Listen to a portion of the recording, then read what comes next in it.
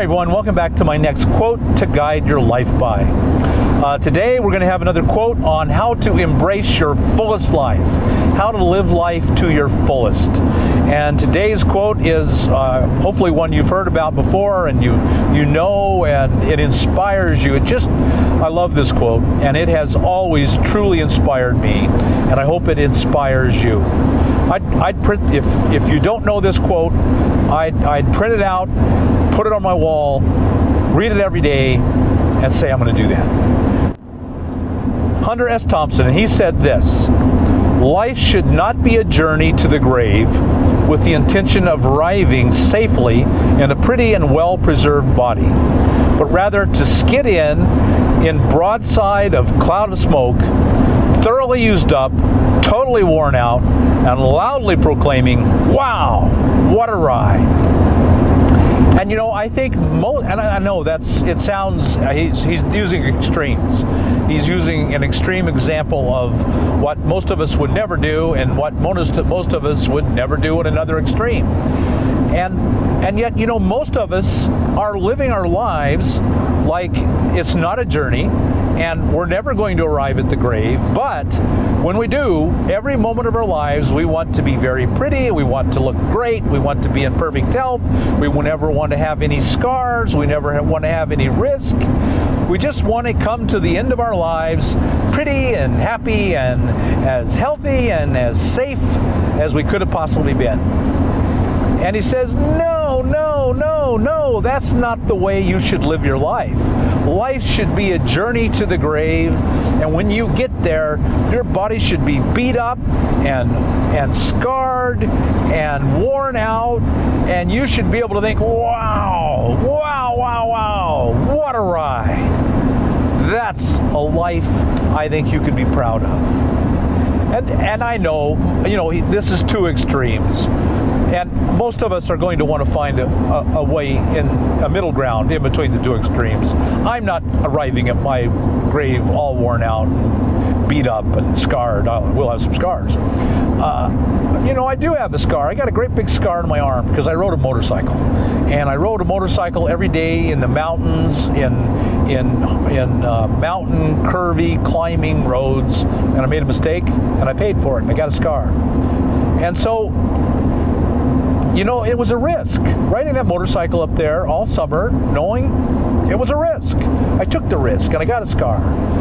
But I look back at that summer, I look at back at all my summers of working as a campground host, I look at them with joy and and think, man, I lived a great life and I wouldn't trade any of it.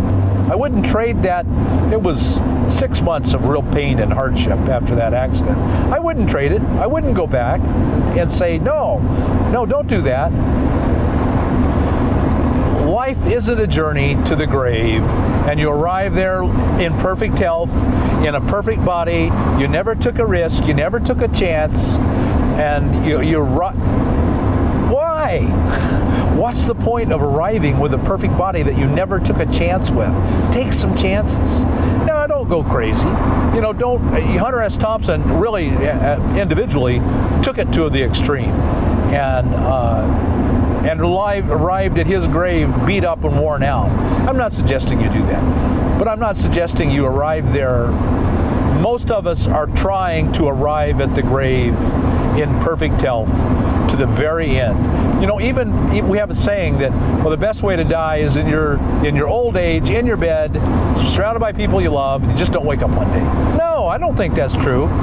I think the best way to die is to um, have lived fully, arrive with some scars, arrive with some hardships, look back with joy at some hardships.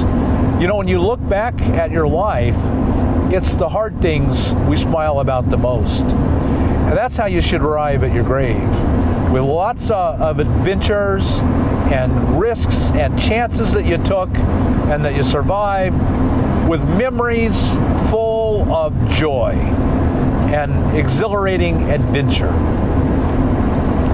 I hope that's how you arrive at your grave. And you find the balance that works for you. The Hunter S. Thompson balance is too off balance for me. I'm not going to do that. But the for many of you, you're living a life now that you're going to regret. And that's why you're watching these videos, is because you don't want to die full of regrets and never have lived. That's the worst regret in all of life is to arrive at the end and say, I never lived. I never lived. Uh, don't do that. Find the balance that works for you. Embrace um, the scars, embrace, embrace tears, embrace risk, embrace danger, um, and arrive with many, many memories that are life changing and hardships that bring a smile. Shared hardships is the greatest joy in life. I believe that. So find people to travel your road with, uh, share some hardships with them, endure them together, and then uh, carry them to your grave with great joy. Folks, I hope I hope you'll consider that and you'll find the balance, the middle way that will work for you, whatever it is. And I don't know. I'm not trying to tell you. I'm just trying to find avoid the extremes of a life not lived and a life lived with too much risk. Somewhere in there is the balance for you, and I hope you find it. Folks, if you got anything out of this video, like us on YouTube, subscribe to the channel, hit that thumbs up button, and we'll see you on the next quote to guide your life by. See you then.